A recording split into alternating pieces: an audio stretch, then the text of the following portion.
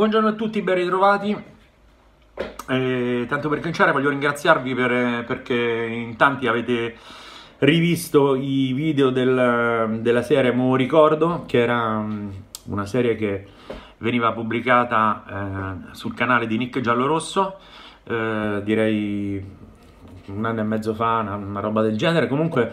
eh, la, le, storie, le storie proponendo questi video, due al giorno, alla sera vengono, vengono editati e, e, poi si troveranno tutti in una playlist. Questo verrà fatto per una decina di video, 10-12 video, eh, appunto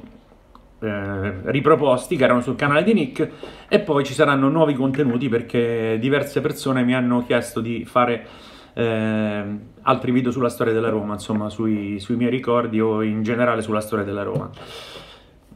Fine discorso. Eh, ragazzi, le notizie non sono buone, eh, non è vero niente che la Roma ha fatto un'offerta per Cup Miners. Ieri io non lo so, sono, non so se, sono, se certa gente ha veramente notizie o, o, le spara così per fare visualizzazioni, però non è vero, purtroppo, guardate, a me dispiace tantissimo perché la, la vedrei quasi come una sconfitta personale se non provassero a comprare Teucum Miners, credo veramente che cioè, più, più, di così, cioè, ho portato il nome eh, sul web eh, da mesi, mesi e mesi, mi sono andato a vedere le partite, so tutto di lui, so che ha so che ha un accordo con l'Atalanta, ma che a parità di ingaggio lui preferirebbe venire a Roma perché è un discorso di qualità della vita, ne fa lui eh, con la sua compagna, gli piacerebbe vivere in una città di arte, insomma, voglio dire, tra vivere a Roma e vivere a Bergamo c'è una bella differenza, nonostante anche Bergamo sia una bella città, però c'è un paragone veramente improponibile, come dire, che ne so, New York e Frosinone, mi capite, insomma, no?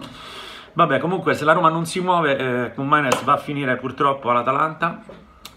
e sarebbe veramente un colpo al cuore. Altre notizie eh, non ce ne sono, i centrocampisti sono Damsgaard della, della Sandoria che Ferrero sta tentando di piazzare, poi c'è il, eh,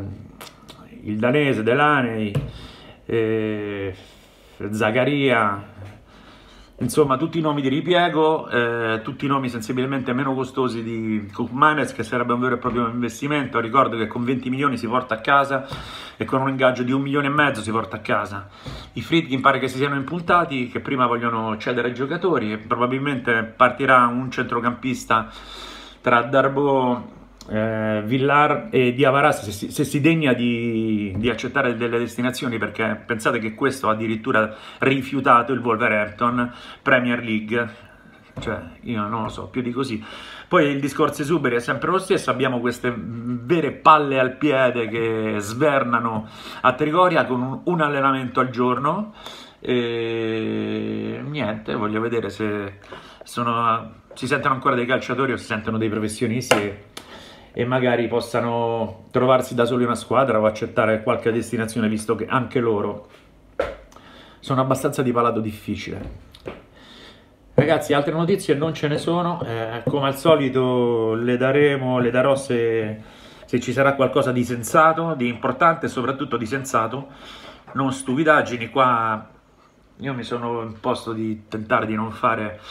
eh, video con titoli clickbait perché non mi sembra veramente a caso, anche perché io ho pochissimi iscritti, non monetizzo un cazzo, quindi veramente parlo con voi come parlerei al bar eh, ai miei migliori amici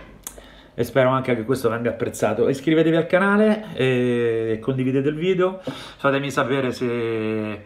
se c'è qualcosa che vi piace o qualcosa che vi piace di meno. Io vi saluto, Forza Roma e speriamo bene, speriamo in qualcosa di, di figo che ci tiri un, po su, un, pochettino sul morale. Ah, una cosa, sono le 10, tra due ore su Sky Sport potremo vedere l'ennesima amichevole della Roma, eh, saranno le 11 in Portogallo con un caldo